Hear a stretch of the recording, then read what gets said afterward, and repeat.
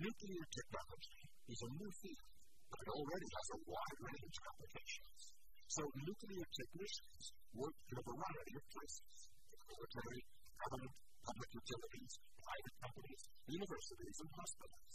Some have four-year science and math degrees, others have two years of specialized training, earning an associate's degree in applied science.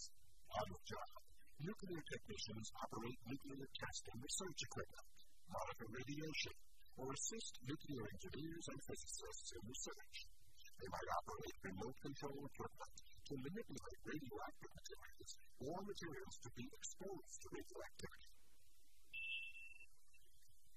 Safety procedures must be carefully followed to ensure the risk of exposure to radiation stays low.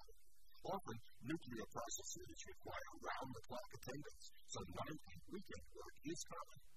But the workplace is, by necessity, clean and orderly, and the work itself can be very important to individuals, communities, even nations.